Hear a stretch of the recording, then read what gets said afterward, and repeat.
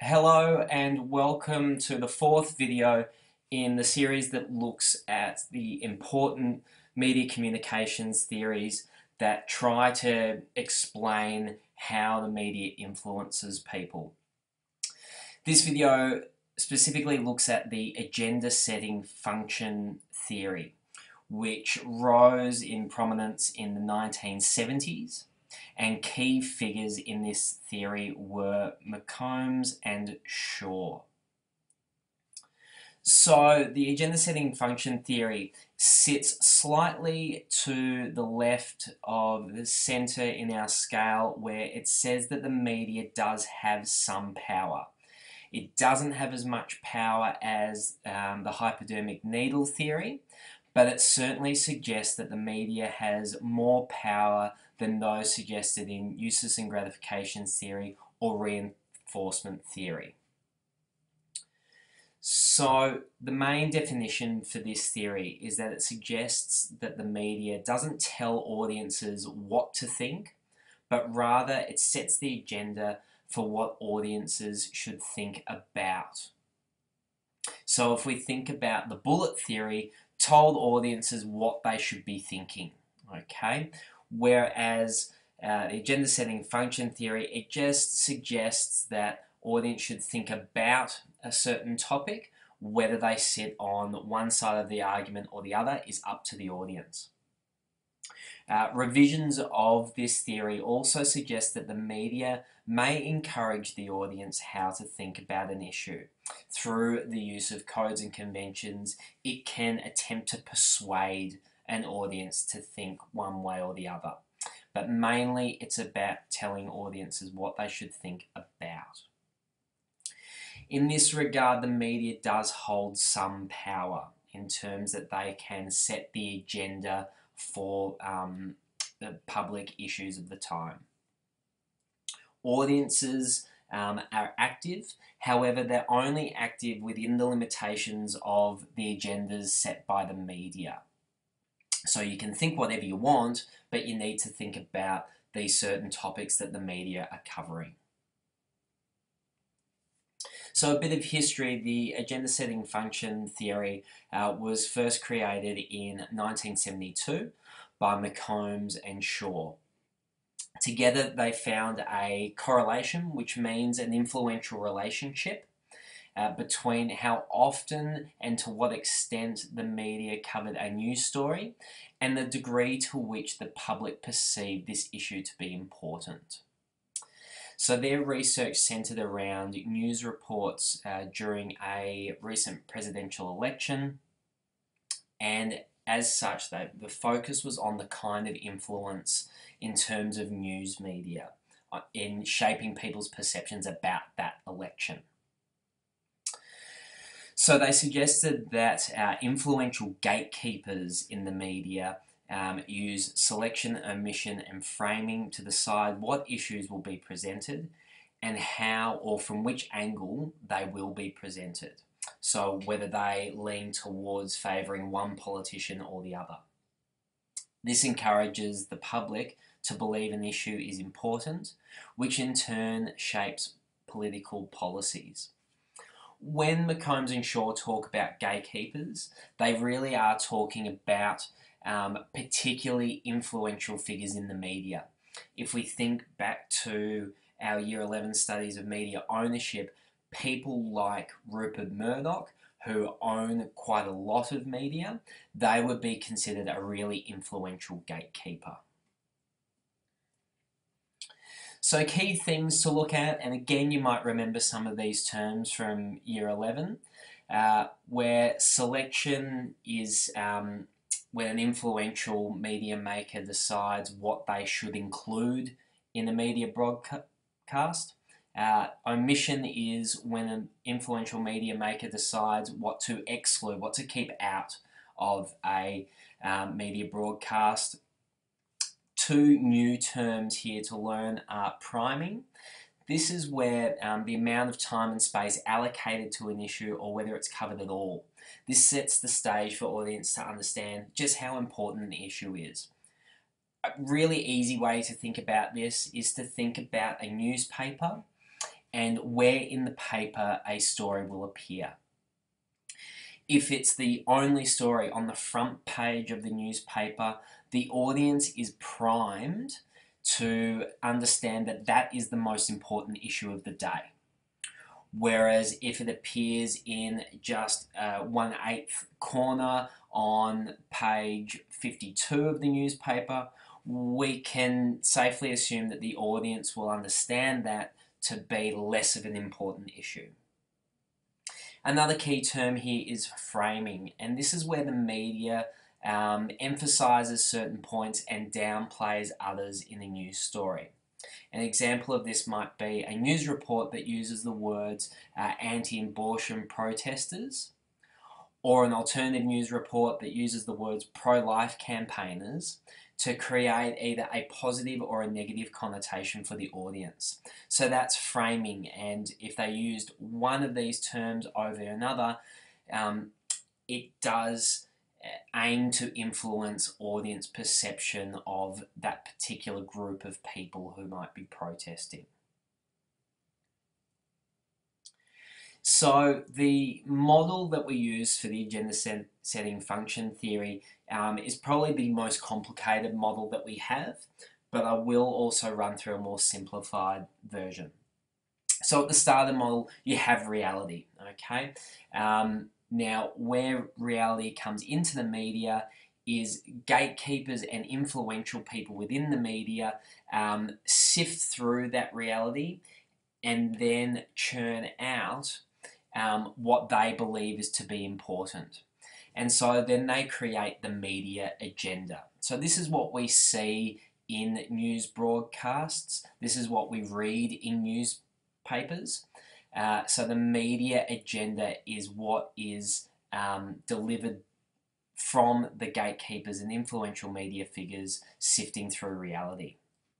The media agenda then has an influence on the public agenda. So what's in the media then gets talked about in the public. So public agenda examples of this could be things like uh, protests, um, where the public has a say and then that can be influential on an audience's perception. Finally, the media agenda and public agenda also have an influence on what's called policy agenda. Think of this in terms of politics. Uh, so politicians will be forced to talk about the things that have been presented in both the public agenda and the media agenda. Now, where it gets even more complicated is sometimes politicians who talk about things then influence what the media talks about. It can be a little bit um, cyclical in this regard. Um, similarly, when politicians talk about something and um, it makes the public angry, then it influences the public agenda and so on, and there's a constant loop happening here. So what does this happen to the audience? Well, their perception of reality is influenced by all of these things combined and how they see them, okay? Um, it's not only, um, their perception of reality is not only influenced by the media, but what they see in terms of protests and also what they hear in terms of what politicians say. However, like we learnt from uh, reinforcement theory, uh, the audience doesn't just get their information from these sources alone. The audience lives in reality, and so then, therefore, reality also has an influence on audience perception. So I told you it was a complicated model, and indeed it is. But if you think about a more um, simplified version, if we take, so reality has an influence on the audience, reality has an influence on representations of reality in the media, and then those representations have an influence on the audience. Okay, so we can group these three things together so we have just one, two, three factors that influence one another. Um, Justin Lewis has a really good uh, video and explanation on um, agenda setting function and politics, um, particularly United States politics. Um, pay close attention to the 2 minute 45 mark where um, Justin talks about how um, public perception uh, in terms of the severity of global warming and the severity of the drug problem in America corresponded exactly to how um, the media actually covered that um, issue. So, how often the media um, reported on this thing. Um, I'm not going to play Justin's video in um, this video here, but I will include the link in the comments below and encourage you to have a watch um, because it does really sum up um, a really good example of agenda setting function. The original evidence that um, McCombs and Shaw used um, was again in relation to a United States um, presidential election. You'll remember that um, a similar um, election was used to support the reinforcement theory. Um, but McCombs and Shaw um, in 1968 interviewed 100 voters from Chapel Hill, which was just a, a, a district of voting. Um, and they analysed the frequency of issues appearing in the news in that local area.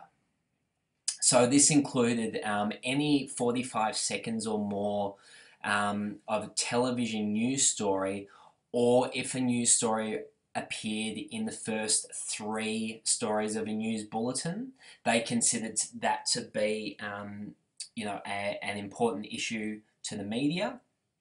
Likewise, in newspapers, any story that appeared on the front page or had at least a three column headline so quite a large headline. That's about half a page in a newspaper. Um, they considered that to be an important media issue. So then comparing how often the media actually, um, or how often the story appeared prominently in the media and how voters who were interviewed saw important issues, they actually found that there was um, a correlation or a mutual relationship between the number of times a political issue appeared in the media and the perception by the audience that this issue was important. So there was a really clear relationship where um, something was reported more, more people saw that as an important issue. If it was reported less, then audience perception was that it wasn't as an important issue. So think about testing this theory yourself. Just have a think about uh, news events from the last week and think of the three biggest issues um, that you perceive as happening in this past week. Write them down and then go and see how these were reported, um, not just in local papers, but look at the media that you were actually exposed to this week. Okay? Is there a correlation between what you think is the top three issues, and how often something appeared. Because what you might find is that if you speak to members of your family who might uh, access their news and information from other media sources, their list on what they perceive to be the biggest three issues of the last week might be different to yours because you're exposed to different media organizations who set very different agendas for you. Another example that we can look at um, happened in 1991 and it's called the Highway of Death. I'm going to show you this uh, little clip sort of that sums up um, this Highway of Death which was an attack um, and then we'll talk about it in a second. Began coming into Allied headquarters of a large Iraqi convoy far to the east. The convoy was reported to be on the highway leading out of Kuwait City. Our first concern was how do we stop the Iraqis from returning this military equipment to Iraq? So we put airplanes that night in across the highway. Pilots were ordered to stop the convoy at all costs. But that wasn't motivation enough.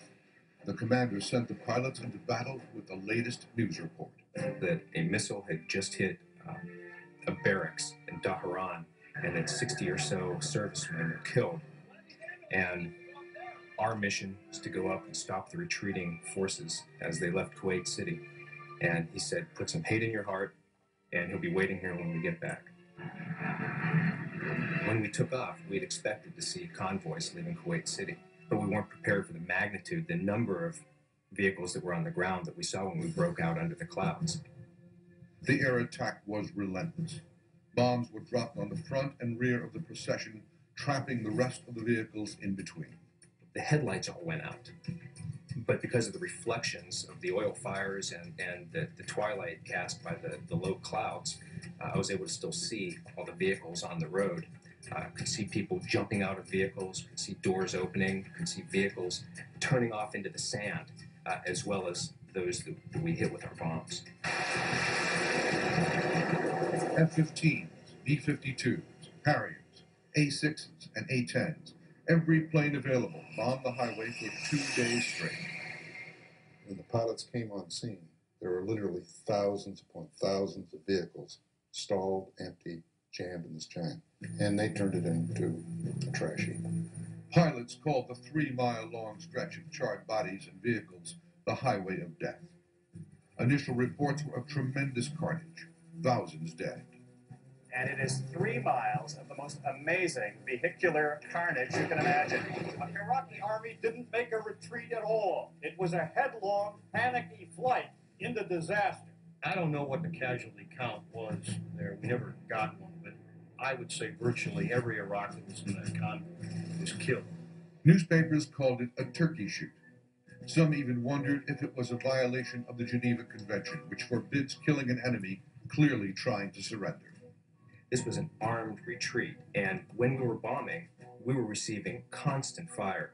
All types of anti aircraft artillery, machine guns, and missiles were being shot at us the, the entire time. This was an armed retreat, not a turkey shoot. There's no doubt about it. There's a lot of destruction and death. But that's war. And that's what people have to understand. After the war, Allies counted 1,500 destroyed vehicles on that highway. Only 2% had been armored personnel carriers or tanks. The rest were Kuwaiti cars, full of loot. As for the death toll, later estimates showed it to be in the low hundreds, not thousands. At the time, however, it looked like an atrocity. There began to develop within the White House a concern about the public relations aspect of this victory. And uh, after there were reports of a so called highway of death, uh, General Powell and President Bush became concerned that the American uh, military not be seen as unnecessarily brutal, as, quote, shooting fleeing Iraqis in the back. They wanted to avoid this perception. So the president and the general began to consider a ceasefire. The sands of Desert Storm were shifting. So we see here um, in some of that horrific footage um, two ways in which um, the agenda setting function worked. First of all, news reports were coming out of American soldiers being attacked, and they were seen by um, the United States Air Force, which sort of took that as okay, if this is being reported in the news, then this is getting big. This is this is the time of you know the big fight in this war. And then we saw from that footage um, just how horrific it actually looked. And um, while the reality was only um, a couple of hundred people died um, in those attacks, it certainly looked like much more. And we can see, and we heard about news reports saying that um, it was presented in a way that, that looked much worse than what it was. Um, and that made the public question um, America's, uh, I guess, presence in Iraq. And then when the audience is getting that sort of riled up about, oh, this actually doesn't look too good, um, it actually influenced um, the politicians of the time, the United States president, to reduce military action and effectively ended the war. So we can see here how um, public perception of reality was different to reality itself, how it was presented in the media was different to reality itself, but those two things actually ended up influencing um, the politicians of the time.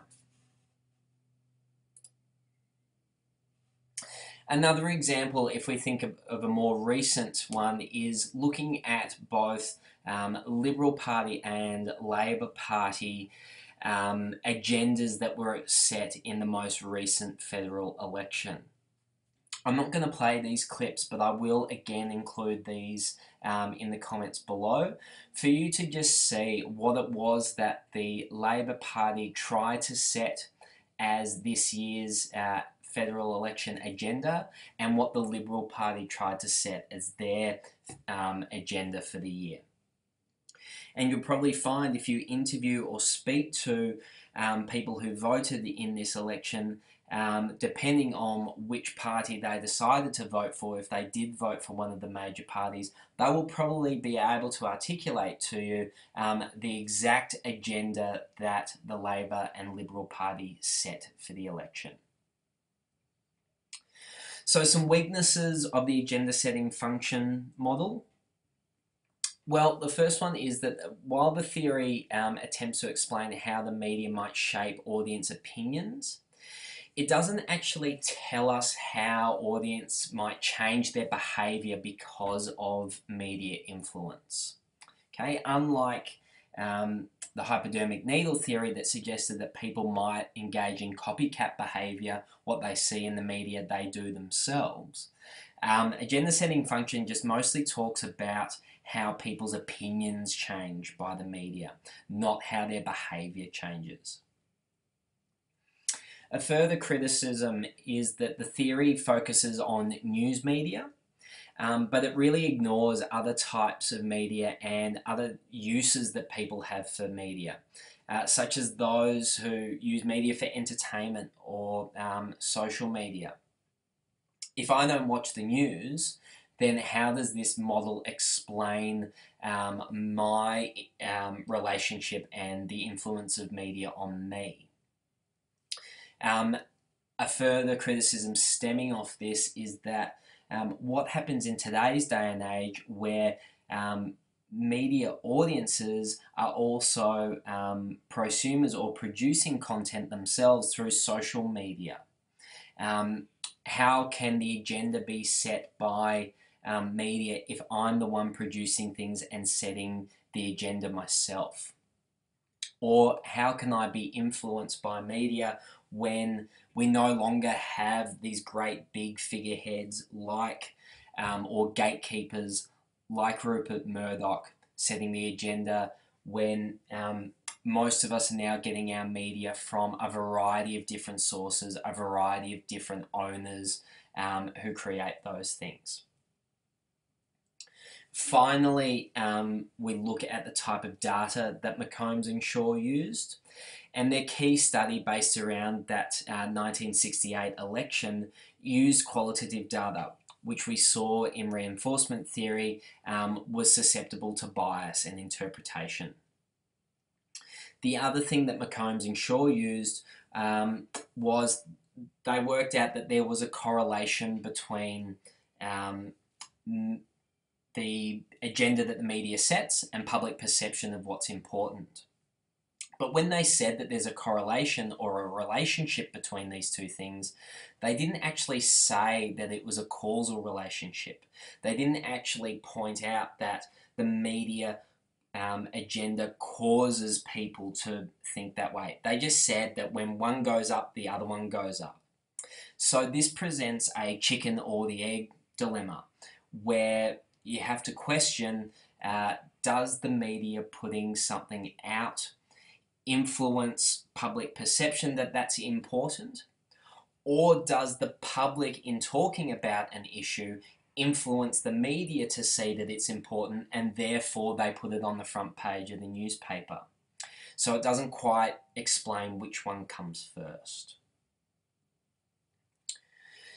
So if you need a little bit more information on the agenda setting function theory of media communication, Please read pages 235 to 236 of your Heinemann Media textbook and complete learning activities 1, 3 and 4 that correspond to this section. As always, if you feel like you need to go over any of these things, please feel free to um, replay this video.